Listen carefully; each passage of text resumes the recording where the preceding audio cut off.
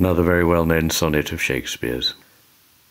Like as the waves make towards the pebbled shore, so do our minutes hasten to their end, each changing place with that which goes before, in sequent toil all forwards do contend. Nativity, once in the main of light, crawls to maturity, wherewith being crowned, crooked eclipses against his glory fight, and time that gave doth now his gift confound.